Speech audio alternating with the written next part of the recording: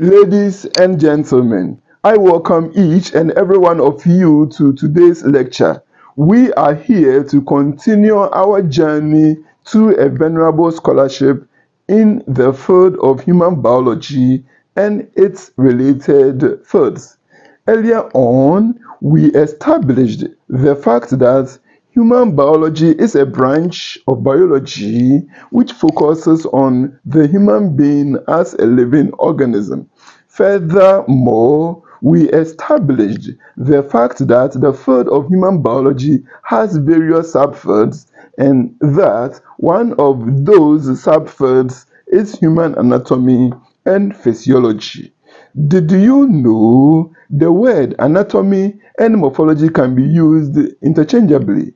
Of course, in the olden days, the word morphology was applied basically to the external form of organisms. Today, what we used to refer to as morphology in the past could be referred to as external morphology. And if there is external morphology, then we can also afford to talk about internal morphology. Ladies and gentlemen, let us take note of the fact that each living organism, including the human being, has a form. And thus, we talk about morphology of organisms. You also know that each organism is made up of a cell or cells and that each cell has its own form or morphology. Furthermore, the structures which constitute the cell, the structures, the various structures which constitute the, the cell, for example, the cell of an eukaryotic organism also have forms. Think of the organelles which you explored during the cell biology lectures earlier on you realize that each organelle has its own form or morphology. Did you know the term or the word organelles literally mean little organs? All organelles, be they mitochondria, ribosome, Golgi apparatus or Golgi bodies, endoplasmic reticulum, nucleus or nuclei have their own morphology. And I know you can afford to, to describe, I know you can afford to describe each and every one of them as you explored them not long ago.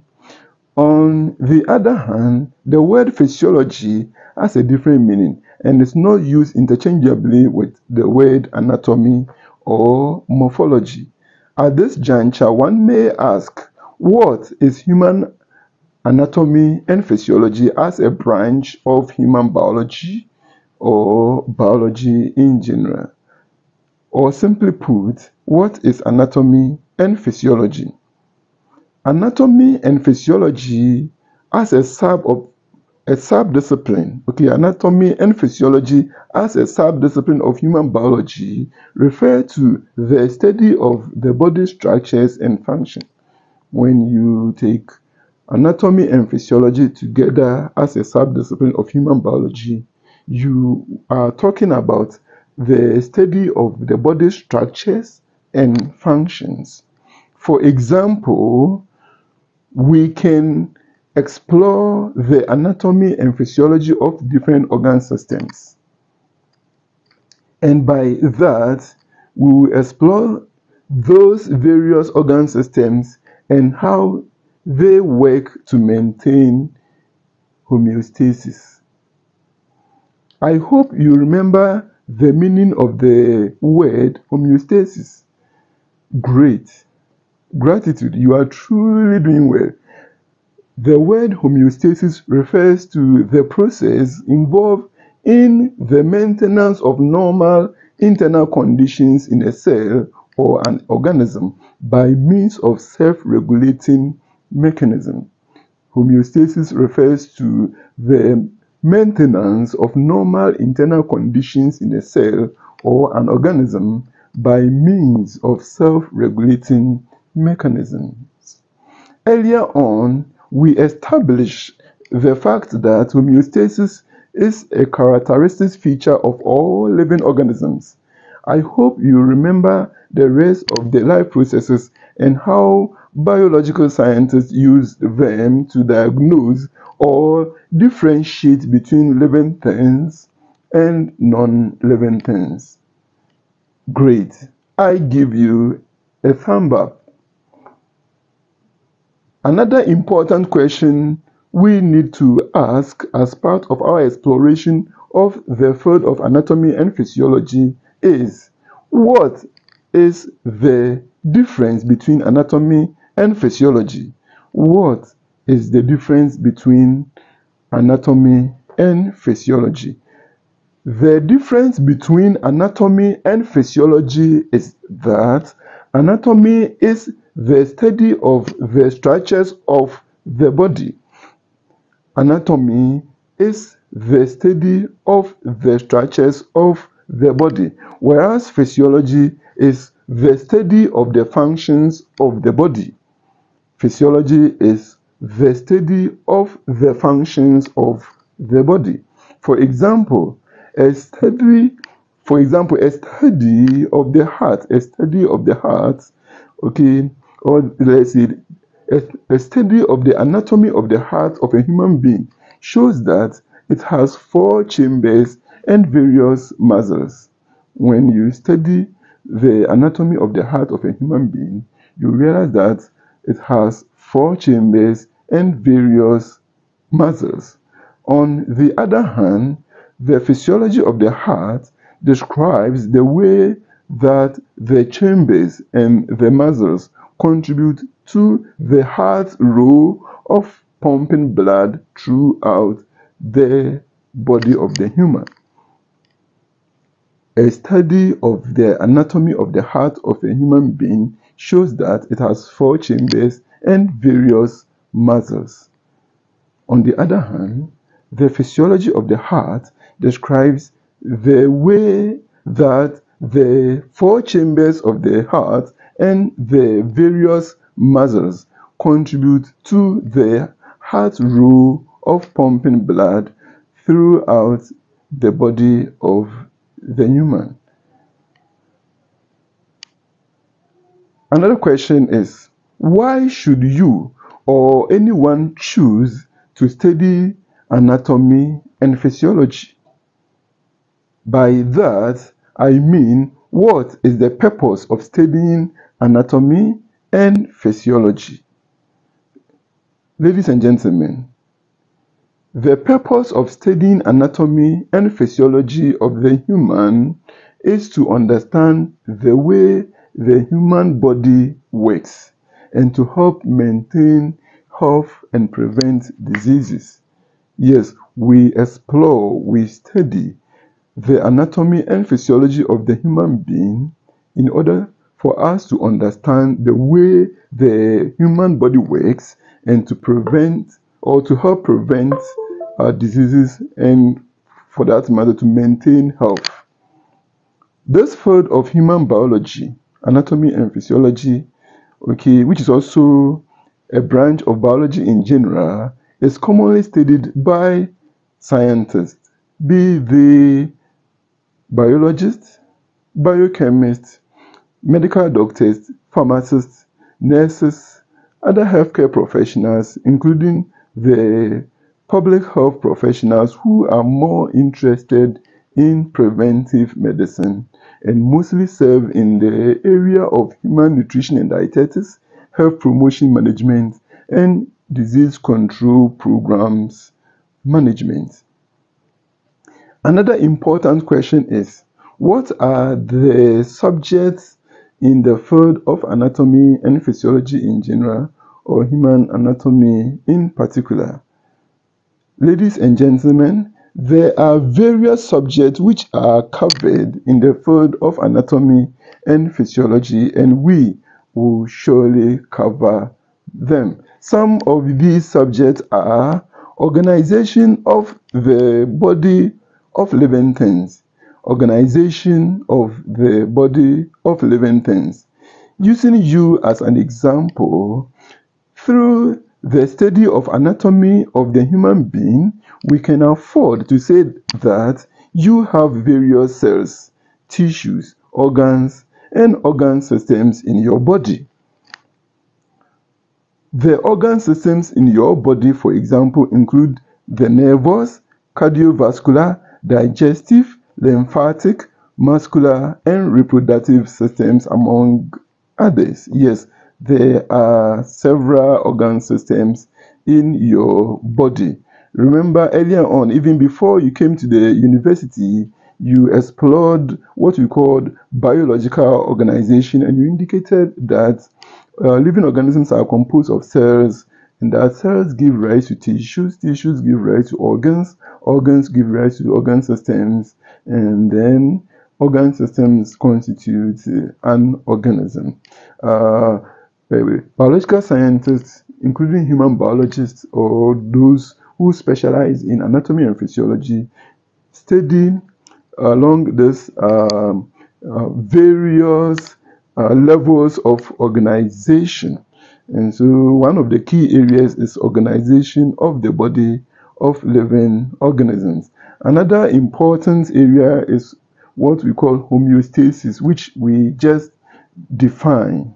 And then we also study communication in the body. Note, note that living organisms are living systems and individual living things. Living organisms are living systems and individual living things. Do you remember the cell theory? Great. All living organisms, including humans and those living organisms which are known to be pathogens of human diseases, are composed of cells. In other words, all living organisms are composed of cells. You recall the fact that the cell is the basic unit of life. The fact that the cell is the basic unit of life can be expanded to read the cell is the basic structural and functional unit of life. The cell is the basic structural and functional unit of life. Furthermore, the cell theory indicates that all cells come from pre-existing cells. All cells come from pre-existing cells. Furthermore, the cell is considered to be a model of the whole living organism, which is epitomized in a very small unit. The cell is considered to be a model of the whole living organism, which is epitomized in a very small unit. Did you know? Did you? The human body is composed of 30 trillion of cells. The human body is made up of 30 trillion of cells. Some authorities group these cells into approximately 215 types. There are authorities who group these cells into about 215 types. Did you know the cell can be put into certain categories, namely antigen presenting cells, contracting cells, endothelial cells, ion transporting cells, killing cells, nerve cells, phagocytic cells, secretory, uh, secretory cells endocrine, secretory cells exocrine, secretory cells matrix, sensory cells, stem cells, and supporting cells.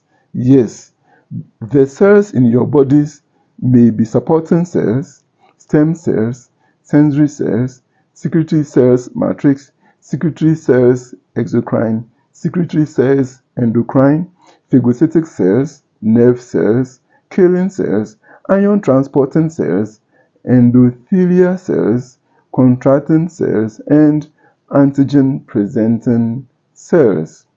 These cells or these cell categories possess different organelles which make them unique. Each of these cell categories has different organelles which make them unique.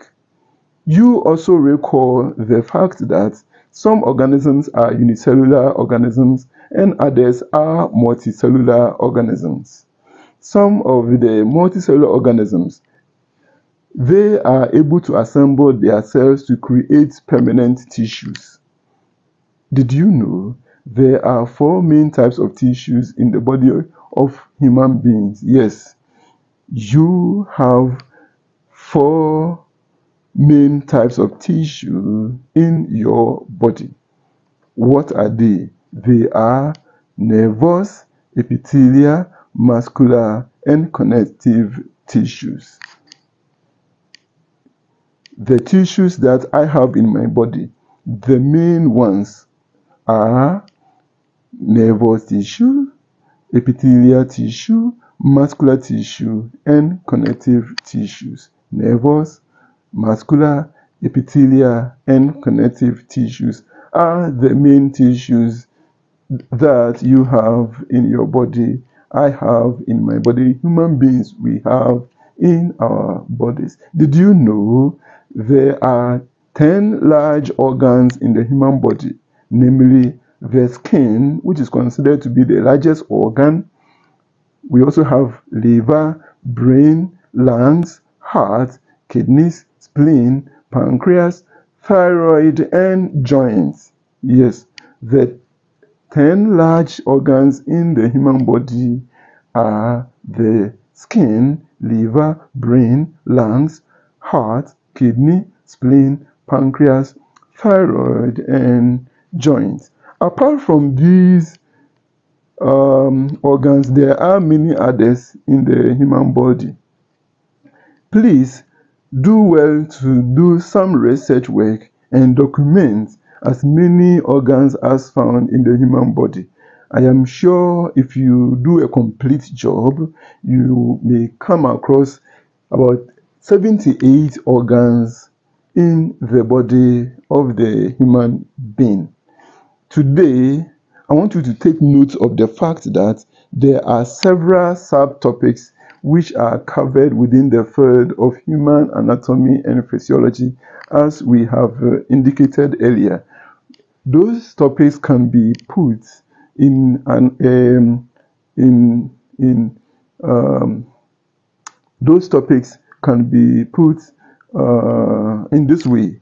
Uh, we can talk about gross anatomy. We can talk about regional anatomy. We can talk about systemic anatomy and microscopic anatomy. Yes, there are several topics which are covered within the field of human anatomy.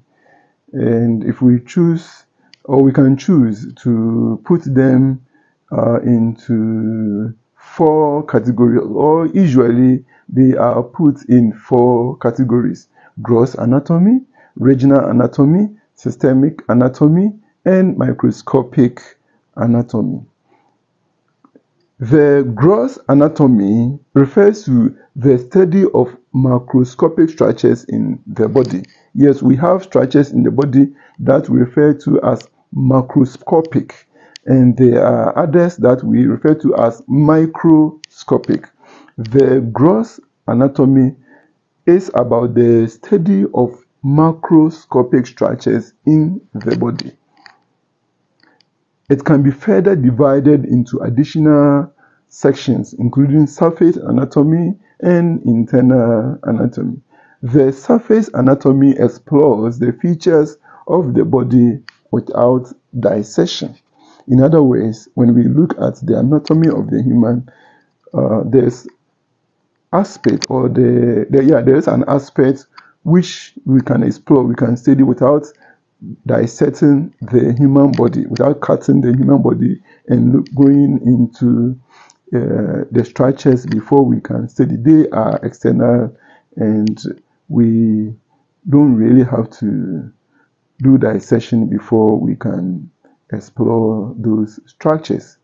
We also have what we call the regional anatomy, as I just indicated. What is, it, what is it about? The regional anatomy, what is it about? The regional anatomy studies different regions or areas of the body, such as the head, the chest or the abdomen. The regional anatomy explores different regions or areas of the body, such as the head, the abdomen, and the chest. It can be important for understanding specific structures in one area of the body. It usually employs X ray radiography, other imaging tools, and techniques to help visualize certain areas of the body.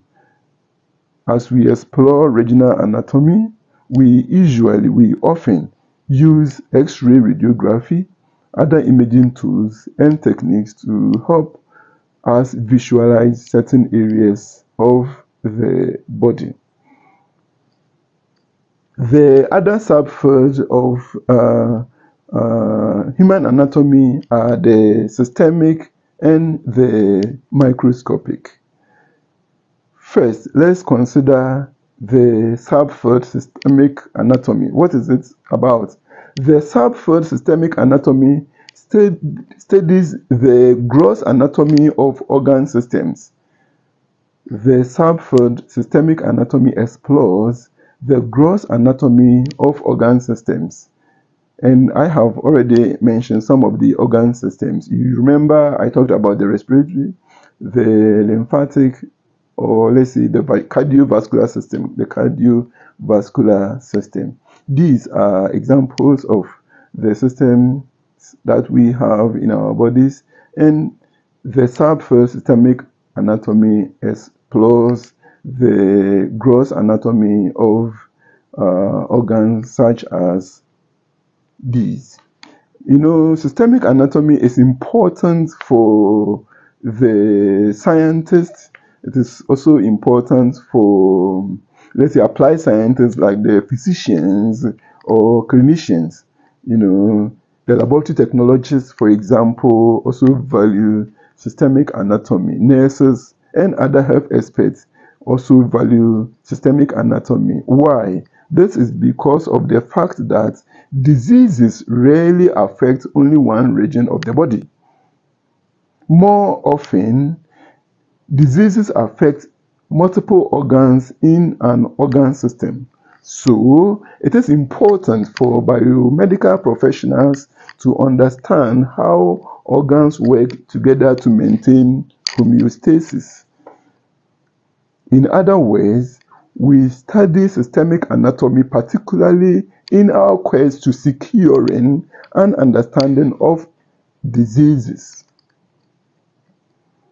we study systemic anatomy particularly in our quest to securing an understanding of diseases.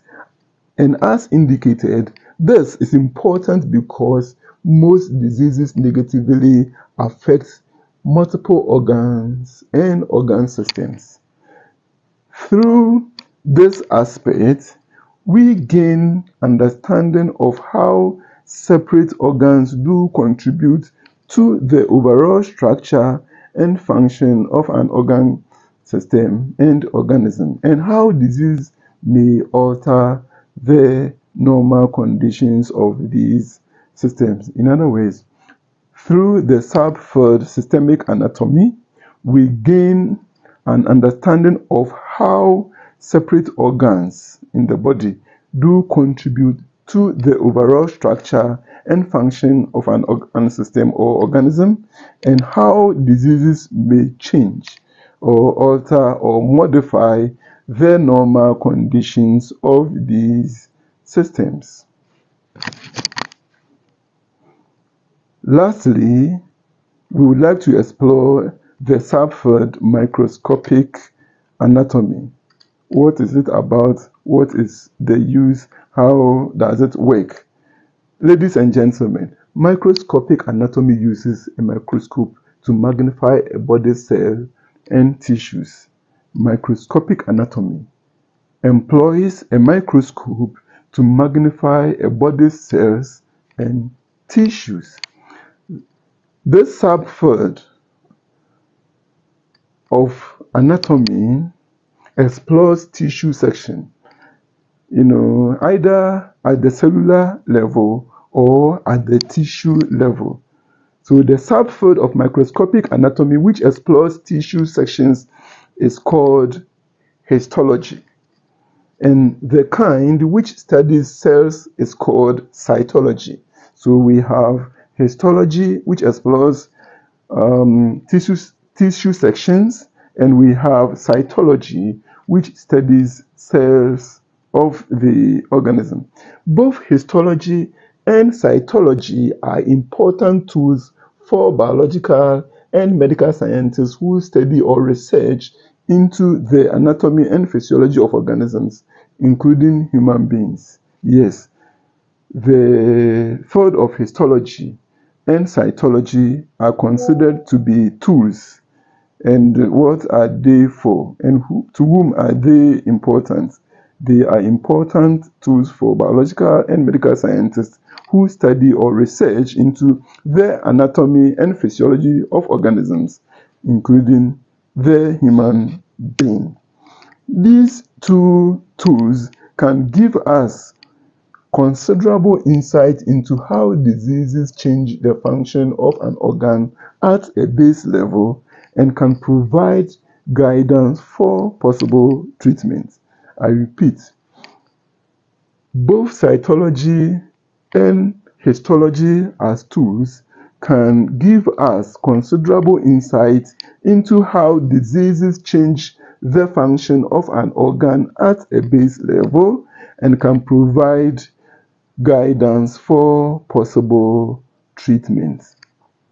So, how do you think you as a nurse or physician or let's say medical or physician assistants in the making can understand and differentiate between symptoms and biomedical conditions. You, as an individual, how can you afford to be able to understand and differentiate between symptoms and biomedical conditions? The answer is simple. As part of your training, as part of your preparation, you are expected and required to take courses in basic sciences like you are doing right now. And then again, you are expected and required to be involved in diagnostic applications. And then again, you are expected and required to uh, involve in activities which will enable you to secure adequate, sufficient, or enough hands on training in the field. And when all these are said and done, you will be able to understand and differentiate between symptoms and biomedical conditions. Ladies and gentlemen, based on what I have indicated so far, you do acknowledge the fact that the building blocks of such studies are human anatomy and physiology.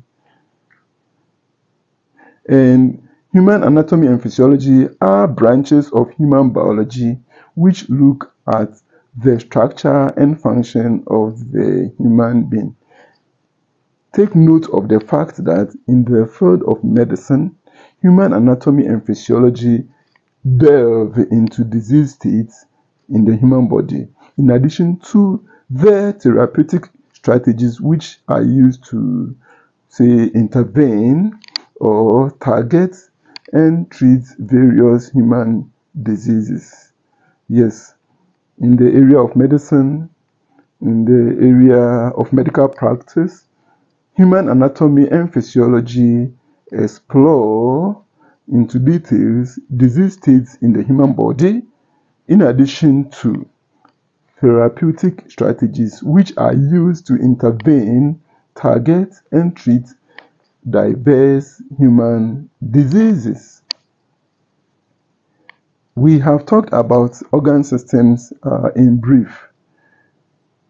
How many organ systems do we have in the body and what are they for? How many organ systems do we have in the human body and what are they for? Again, what are the organs which constitutes each of the organ systems that we have in our bodies as human being. Indeed, in the complex network of your body as a human being, there are 11 organ systems in your body. There are 11 organ systems in your body, and they contain specific organs which share a common function. These 11 organ systems carry out key functions to maintain your physiological well-being. The organ systems, the organ systems, they carry out key functions to maintain your physiological well-being. Each of your organ systems possess a unique role. Each of your organ systems has a unique role. Your cardiovascular system, for example, oxygenates and circulates your blood throughout your body. Your respiratory system allows you to breathe life sustaining oxygen. You have a digestive system which breaks down food and extract vital nutrients, whereas your nervous system sends signals to every part, every corner of your body and thereby facilitating communication and coordination.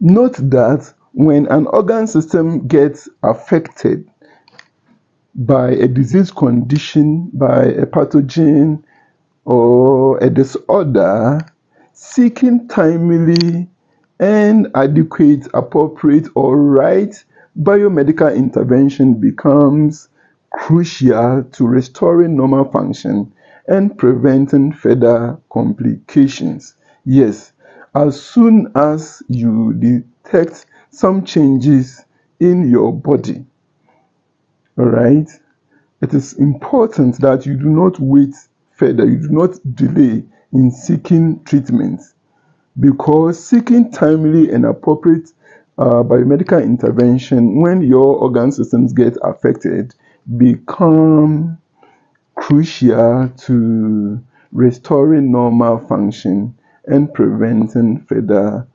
complications. You need to seek, you need to be able to seek treatment because it is important, it's crucial to restoring normal function and preventing further complications. You do not want your condition to worsen before you seek uh, treatment. In our uh, part of the world, in Africa, we have people who delay, you know, who wait, and sometimes they will try and solve their problems, probably using another alternative.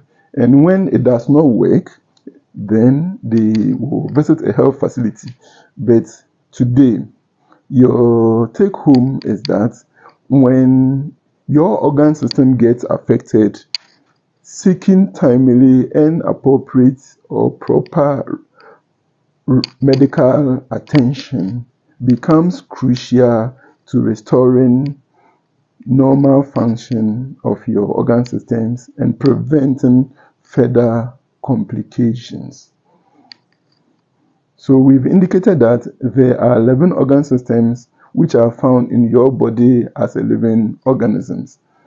Um, we've talked briefly about some of them. Uh, let's go a bit uh, deeper than we have done, starting with the cardiovascular system. You hear of cardio, you hear of vascular. The, the cardio, you hear of vascular. The cardio has to do with the heart, and the vascular has to do with the vessels. In other words, uh, this cardiovascular system consists of the heart, blood vessels, and blood. The cardiovascular system, your cardiovascular system, comprises of your heart, your blood vessels, and your blood. What is your cardiovascular system for? Your cardiovascular system transports oxygen, nutrients, hormones, and waste products throughout your body. It helps regulate your body temperature, pH, and electrolyte balance and assists in immune system function. Yes, your cardiovascular system helps regulate your body temperature, pH and electrolyte balance and assists in immune system function. Talking about the pH, for example, earlier on in the chemistry of life or during the chemistry of life, we indicated that the human blood, you know, has a normal pH of about 7.4.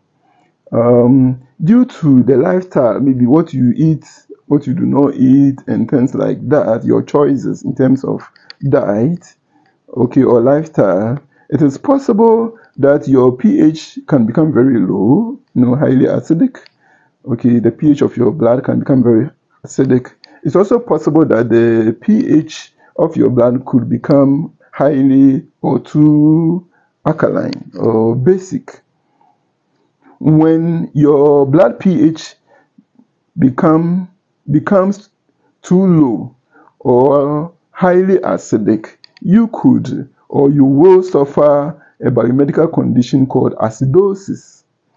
When your blood pH becomes very alkaline, let's say uh, uh, you get to a pH of about 7.8, for example, you could suffer a biomedical condition called alkalosis, which is preferable, the acidosis or alkalosis. Alkalosis, which one uh, is good? acidosis or alkalosis. The reality is that each of these are life threatening medical conditions. In other words, you should be able to avoid acidosis, you should be able to avoid alkalosis, as we indicated earlier. And thankfully, your cardiovascular system helps you to regulate your body pH we just realized that your cardiovascular system also assists in immune system function. Yes, it is true we have the lymphatic system, but your cardiovascular system actually assists in immune system function. Another important uh, organ system that we would like to explore is the endocrine system. The endocrine system. The endocrine system comprises of glands such as the pituitary gland, thyroid gland, adrenal gland, and reproductive gland. You know, you have endocrine system, and your endocrine system is made up of or is, uh, is composed of glands and those glands include the pituitary gland, thyroid, adrenal, and reproductive glands. What is the function of your endocrine system or the endocrine system? The endocrine system produces hormones which regulate bodily functions, including growth, metabolism, reproduction, and development. Your endocrine system, the endocrine the endocrine system regulates bodily functions such as growth, metabolism, reproduction, and development. We also have integumentary system in our body. Your integumentary system. What uh, what is it composed of and what is the function of that system? The integumentary system comprises of the skin, hair, nails, and glands. The integumentary system is made up of the skin, hair, nails, and glands. What is the purpose? What is the function? It serves as a protective barrier against external threats. It regulates body temperature and houses sensory receptors for pain, pressure, and touch. Your integumentary system, which consists of the skin, hair, nails, and glands, serves as a protective barrier against external threats, regulates body temperature, and accommodates or contains sensory receptors for pain, touch, and pressure. I indicated earlier that you also have lymphatic system or we have lymphatic system in our body. What is the lymphatic system for? The lymphatic system is a network of lymph nodes, lymph vessels and organs. And those organs include the thymus and the spleen. You have lymphatic system and that system is a network of lymph nodes lymph vessels and organs such as the spleen and thymus. What is the purpose or what is the function of your lymphatic system? Your lymphatic system aids in immunity by filtering and returning interstitial fluid to the bloodstream and transporting fatty acids from the digestive system. Yes, your lymphatic system helps in immunity by filtering and returning interstitial fluid to the bloodstream and transporting fatty acids from the digestive system. By, so far, you realize that um, the lymphatic system helps okay, in immunity, and uh, the cardiovascular system also helps in immunity. What about the muscular system? Yes, you have muscular system. What is it for? And what um, is the component of your muscular system? Ladies and gentlemen, your muscular system is responsible for body movement. Yes, it is responsible for uh, body movement. Natural fact, muscles maintain posture, generate heat, and facilitate voluntary and involuntary movements. Muscles maintain posture, generate heat, and facilitate voluntary and involuntary movements. So your muscular system, what uh, is it composed of? Your muscular system includes smooth, skeletal, and cardiac muscles. So in one sentence, what will you say about your muscular system? You should be able to say that the muscular system, your muscular system, is responsible for movement and um, uh, helps uh, in maintaining posture, generating heat, and facilitating voluntary and involuntary movement. And that it includes smooth, skeletal, and cardiac muscles. Another system that we should explore is nervous system. Nervous system. Ladies and gentlemen, what is the nervous system? Uh, what is the role? What is the component of the nervous system? The nervous system is a complex network which includes the brain, spinal cord, and sensory organs or nerves. The nervous system is a complex network which includes the brain, spinal cord, and sensory organs or nerves. What is the function of the nervous system? The nervous system coordinates and controls bodily functions, relays messages through electrical impulses, and plays a vital role in sensory perception, motor control, and cognition.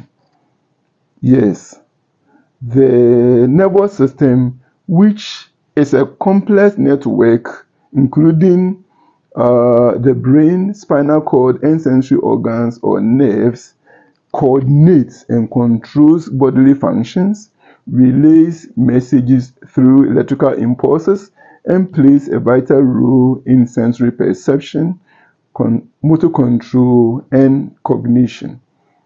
What does this mean? This means that your nervous system controls how you interact with and respond to your environment by controlling the function of the organs in your other body systems.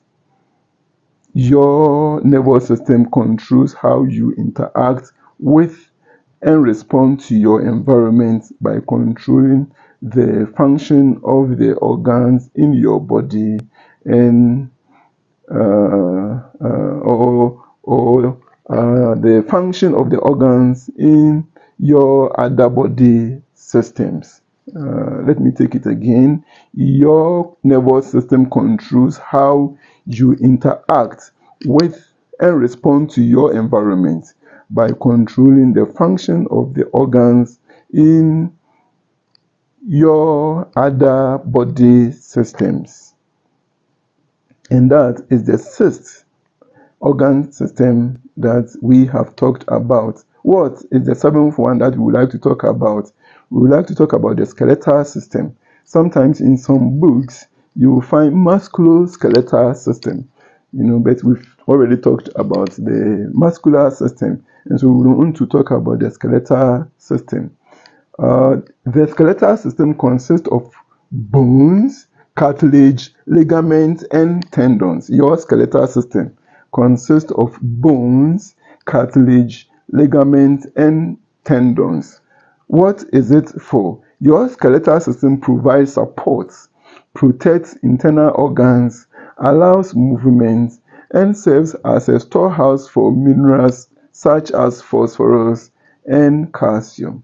Yes, you have skeleton in your body and your skeletal system provides support, protects internal organs, allows movement and serves as a storehouse for minerals such as phosphorus and calcium.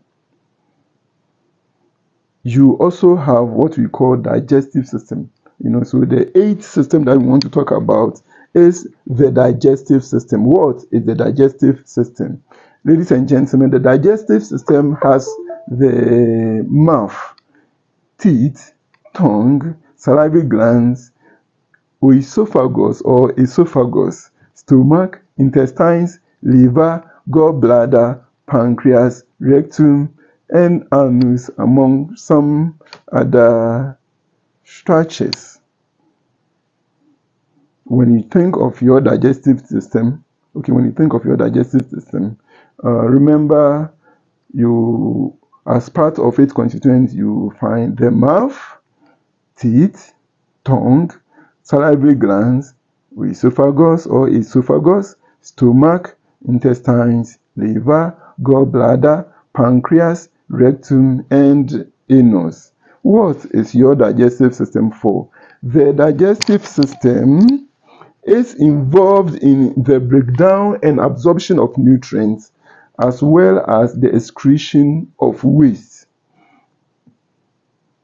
Your digestive system is involved in the breakdown and absorption of nutrients as well as the excretion of waste.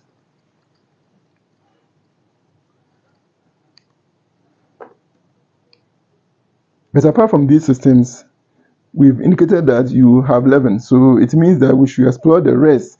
And another important system, another equally important system is what we call the respiratory system. The respiratory system. What is the respiratory system for? And what is the constituent of the respiratory system?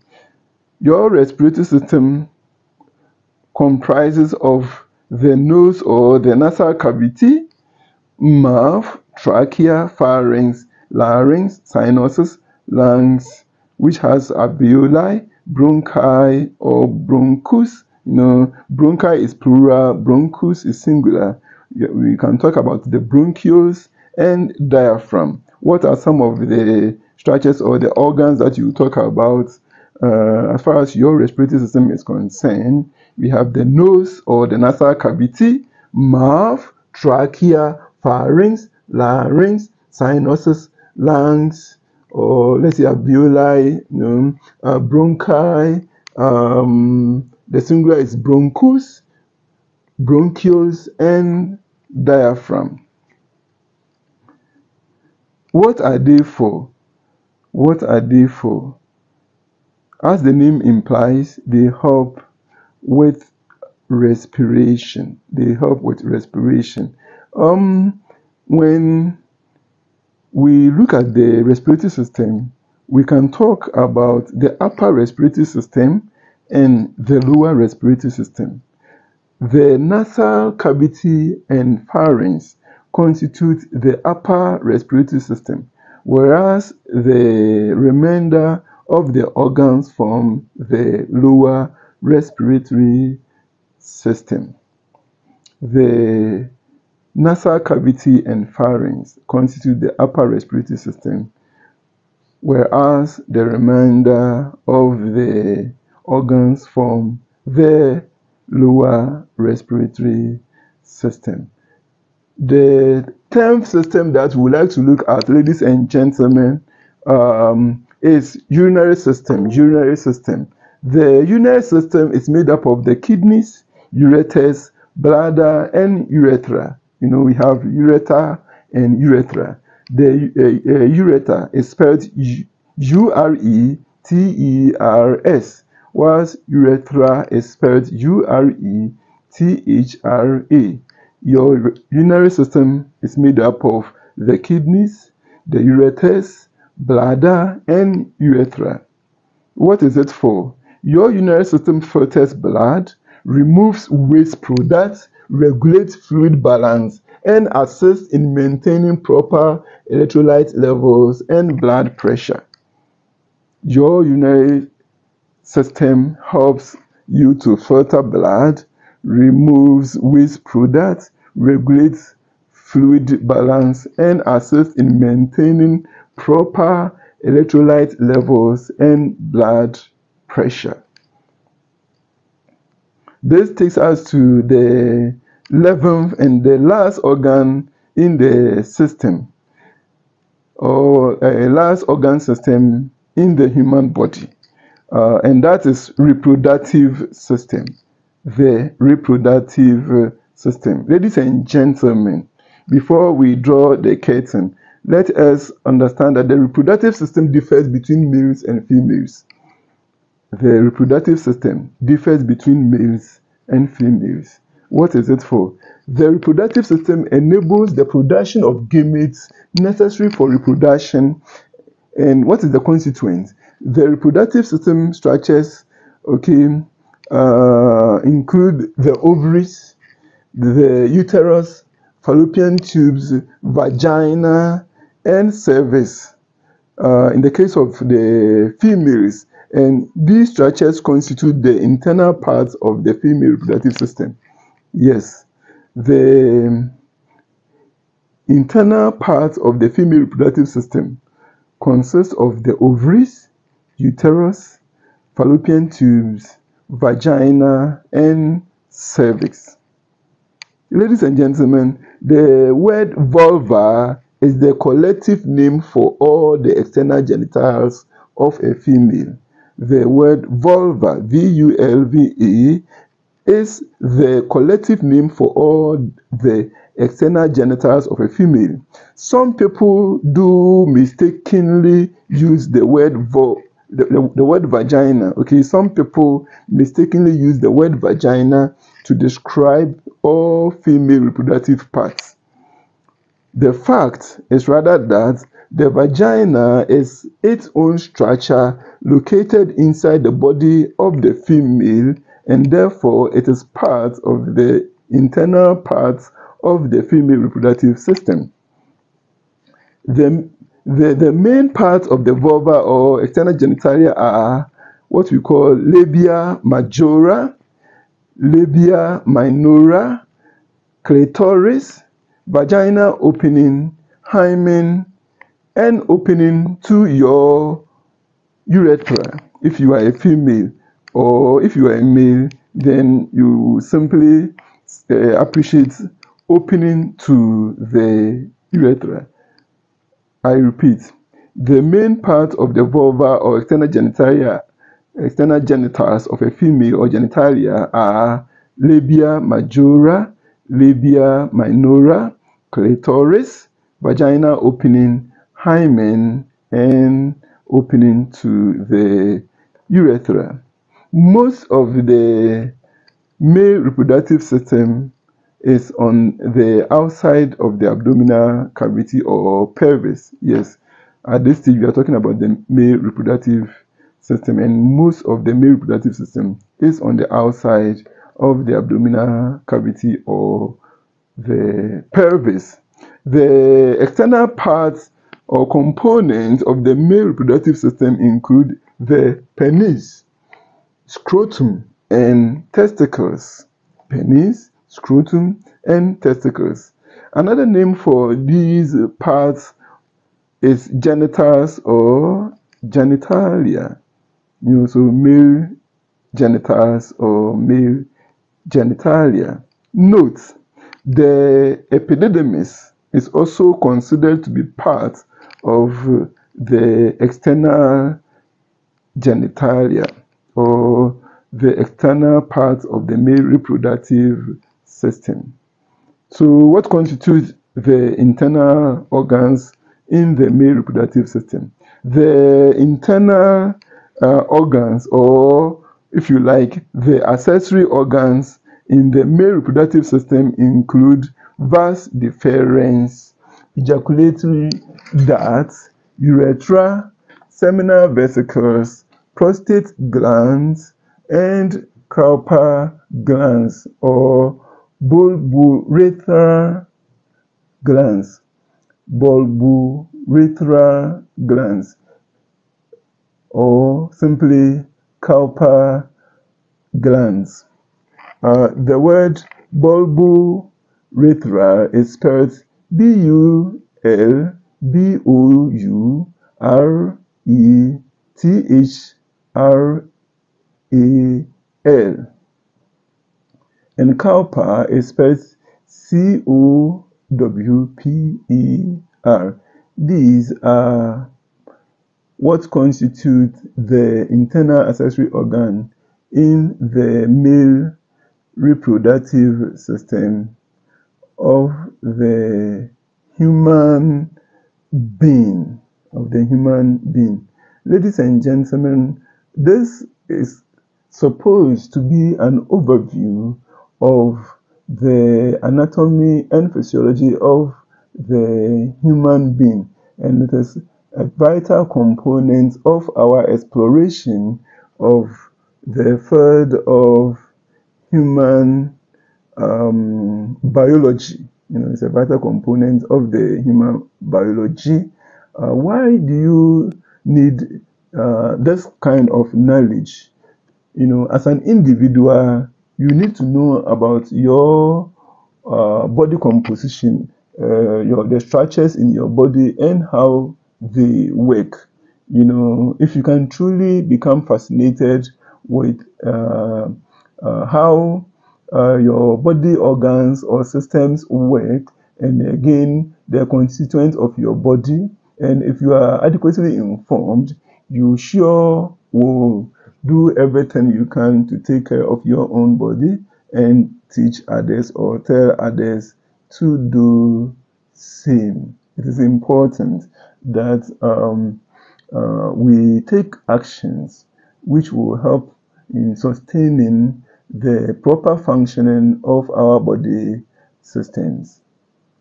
Today, uh, you have realized that when it comes to uh, learning about the anatomy and physiology of the living organism, there are various uh, subfields or subject areas that we learn. For example, you've learned about, we studying about organization of the body of the human being, you have realized that we explore homeostasis and you have realized that uh, we um, can you remind me of the last one that we talked about when we were looking at the uh, the things that constitute the the subject areas okay of the field of anatomy and physiology Yes, the last one is communication in the body. So we explore organization of the body of living organisms, homeostasis, and communication in the body. Then you also realize that you have four tissues in your body nervous, epithelial, muscular, and connective tissues.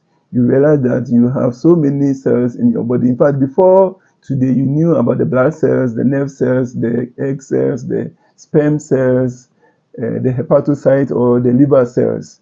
And today you also heard about the antigen presenting cells contracting cells, endothelial cells, ion transporting cells, killing cells, nervous, uh, nerve cells, phagocytic cells, secretory cells, endocrine, secretory cells, exocrine, secretory cells, matrix, sensory cells, um, stem cells, and supporting uh, cells. Yes, you have um, uh, enjoyed uh, today's uh, lesson. Again, you also realize that when it comes to anatomy, we explore what we call gross anatomy, regional anatomy, uh, systemic anatomy, and microscopic anatomy.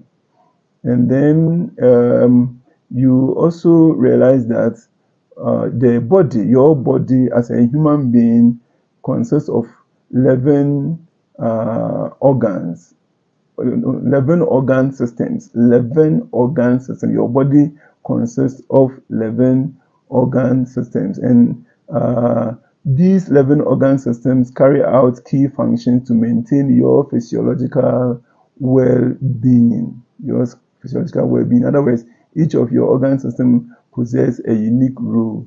And we have actually mentioned all the 11 organ systems in your body and the role they play. We talked about cardiovascular system. We talked about the endocrine system. We talked about the integumentary system. Integumentary system. We talked about the lymphatic system, the muscular system, the nervous system, the uh, skeletal system, the digestive system, respiratory system, uh, urinary system and the reproductive system.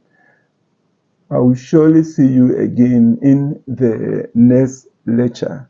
Do well to remember to come on time. Bye bye.